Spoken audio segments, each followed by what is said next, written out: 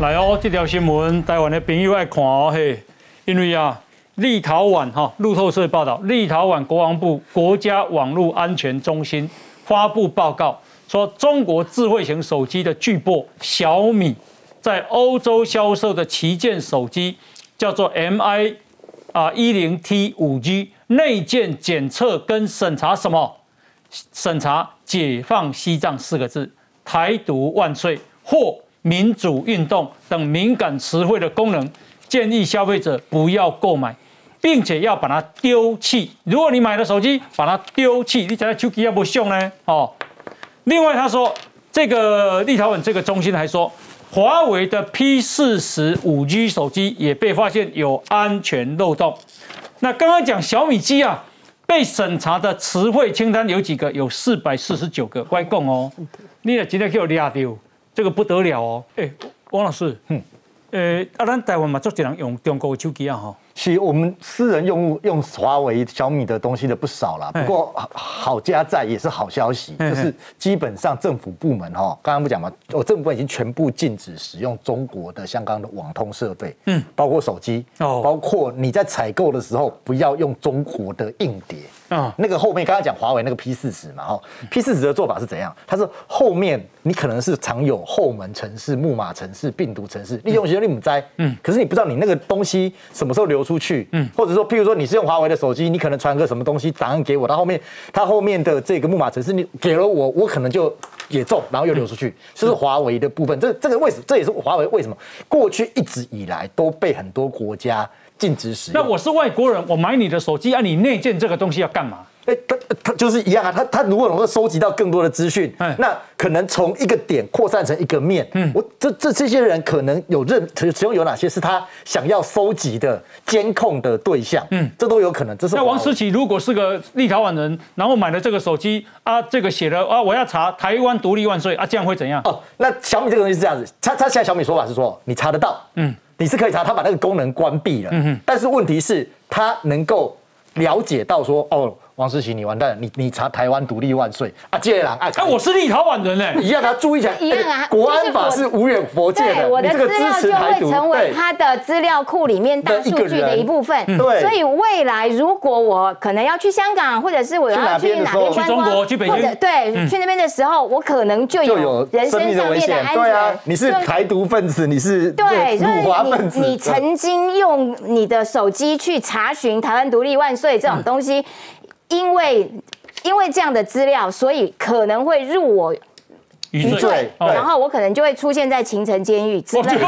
而且小小米哦，他公开出来讲说，我把这个功能关闭了。哦，可是他没有否认说可以打开，他有说啊。对啊，他可以远端遥控，而且而且他没有否认说我有在收集，他只说我关闭这个功能。对，关闭是说你可以搜，你可以搜寻，你可以上网。但现在台湾中国手机用户放心的对了。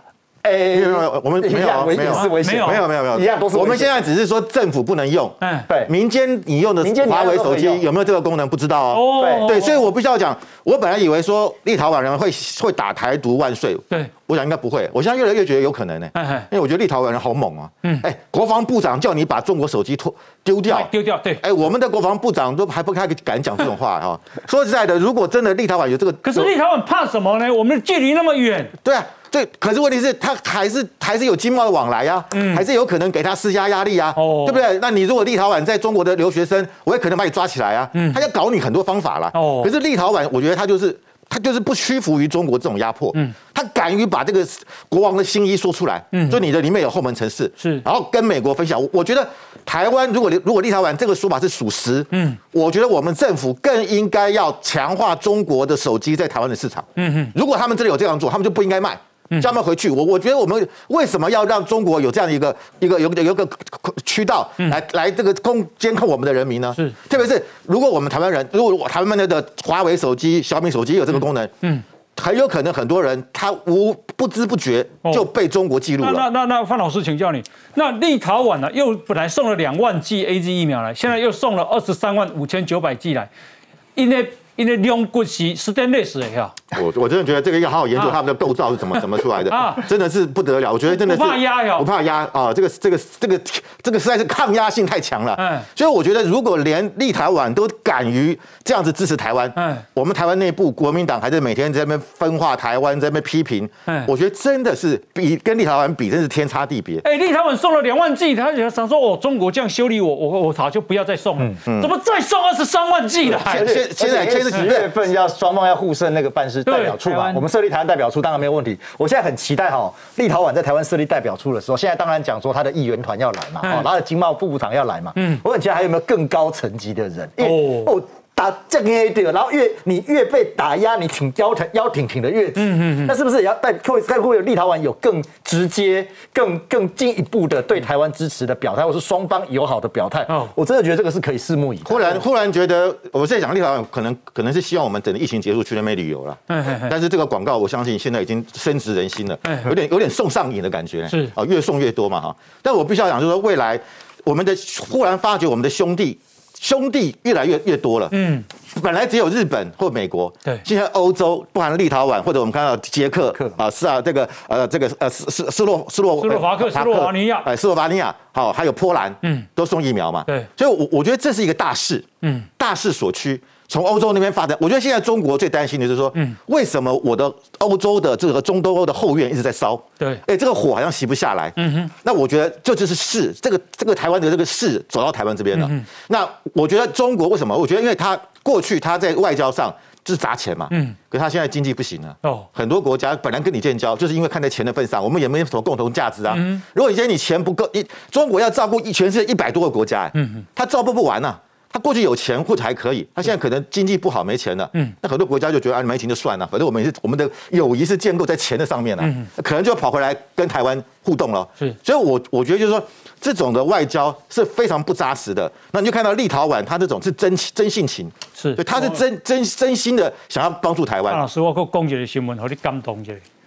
中国修理台湾的任务，嗯，那起码瑞士公你们进南岛的任务。对，而且我觉得瑞士过去跟我们之间的连接并不是那么的深，然后这一次他看到中国这样子对付台湾，竟然主动说他们要买我们的莲雾。我觉得其实整个地球上面一个新的国际秩序有在重新。成型中，否则不会有这么多的国家。你看看，在短短的这这些时间里面，打出台湾牌的、力挺台湾的，然后送疫苗来的，然后帮助我们度过这个莲雾跟世家难关的。我真的觉得，呃，新的世界秩序真的。有在成型当中，嗯，而且你看日本要这个自民党选举，竟然是要打出台湾牌，打出蔡英文牌，这样子可以帮他们加分，这个在过去从来都没有看到过，而且这些跟我们距离这么远，关系过去不并不是那么密切的国家，纷纷跳出来挺台湾，我觉得那是因为他们看到了说，哦，原来这个在亚洲这个地方的这个小国家，跟我们信仰相同，价值相同啊，这个东西你你说。能够不挺下去吗？